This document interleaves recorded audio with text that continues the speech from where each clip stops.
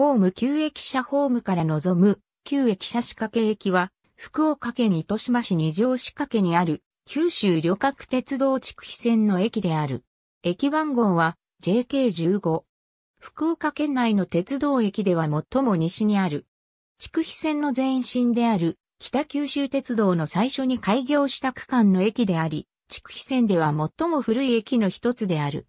2012年3月までは、1938年に完成した木造の駅舎が使われていた。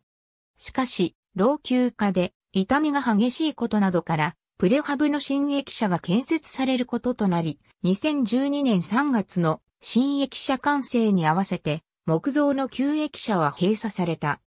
新駅舎建設に際して、市民の間から旧駅舎の保全と活用を求める声が上がり、JR 九州も市への譲渡に前向きな姿勢を見せたものの、維持、管理の問題で実現せず、同年夏前に取り壊された。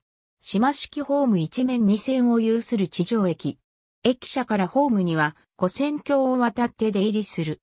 無人駅である。以前にあった木造駅舎は撤去され、ホーム北側にプレハブの駅舎がある。簡易型の自動券売機が設置されている。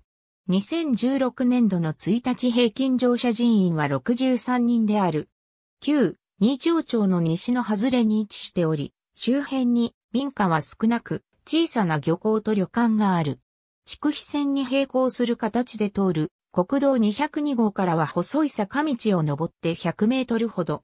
ありがとうございます。